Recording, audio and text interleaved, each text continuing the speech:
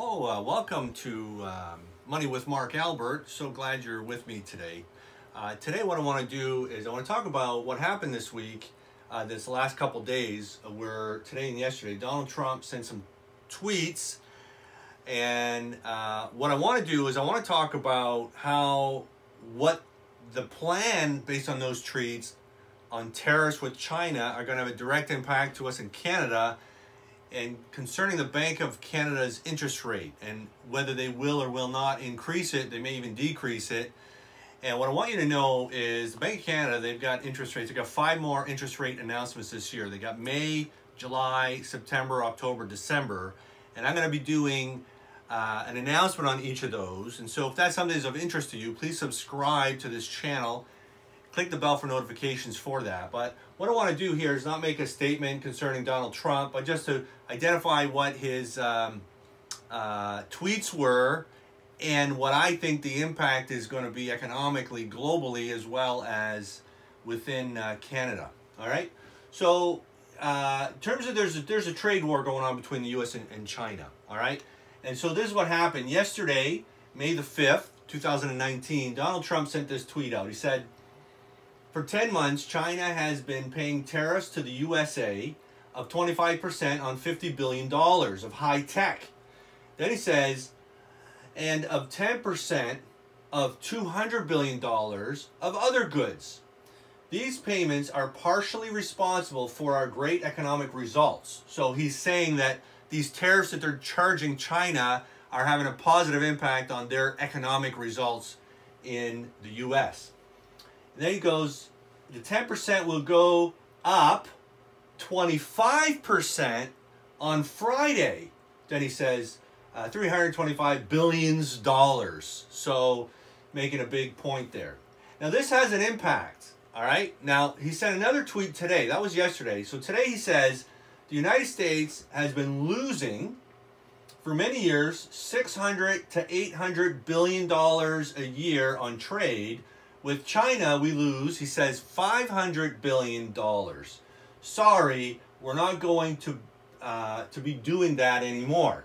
So he makes a statement, he likes to do it on Twitter, which is unique in terms of U.S. presidents. However, what I want to talk about is the Bank of Canada. The Bank of Canada, they have rate announcements, and they said, if you go back, and there'll be a link below in, uh, in the notes below here of this video, uh, of of the last five Bank of Canada rate announcements that I did videos on. But the last one, which was October 24, they mentioned to us what they're going to be looking for in the future in terms of whether they increase or decrease the rate or maintain the rate. So these are three things they're going to be looking for. And I'm going to show you how what Trump's doing on tariffs and how that may impact the global economy may impact what the Bank of Canada do. And I'll, I'll give my opinion on that.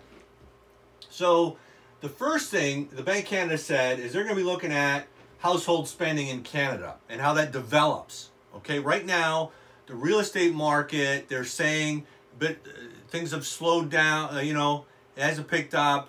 The economy is fairly stalled. They said in the second quarter this year it's going to be picking up, and the third quarter is really going to be growing more, and then the second half of the year is going to be pr pretty good. And I think the real estate as well, they said that probably be picking up too. However, they also said they're going to be looking at the Canadian oil market and the global oil market. So right now, we know that Canada's having a hard time pushing oil out globally. They're having a hard time with our cost of oil, selling it on the market, but actually getting it to the market. Can't build pipelines. Investment in Canada feels fairly stalled on the uh, energy sector. So they're going to be looking at that. So there's a third thing, and this is the big one. All right, they're going to look at global trade policy. So right now, what the governor of the Bank of Canada said uh, April 24, he talked about how Canada, the economy is fairly stalled right now. And he said there's a, there's like 47 other countries in the world in a similar situation as Canada, like the same situation. So globally, there's a sense of uneasiness. There's multiple trade issues and conflicts going on in the world, the biggest of which is China and the U.S. And so with the U.S. saying we're going to charge you more tariffs, and China have a response to that, which is not like yay hey yahoo, but it's not it's not a positive response. This may create more uncertainty in the global economy, which may have a more negative impact on consumer spending and global uh, economic investment, which will have a direct impact on the Canadian economy and the Bank of Canada's ability to increase rates. So they'll either, in the next five rate announcements this year, most likely will either maintain or even decrease depending on how bad things get. These are just some of my thoughts. I'd be curious to know, especially if some of you have an economic uh, thought process of cause and effect relationships out there. Comment below so that it stimulates more discussion. Thanks for being with me. Have a wonderful day, and these are some my ideas. We'll talk to you later. Bye now.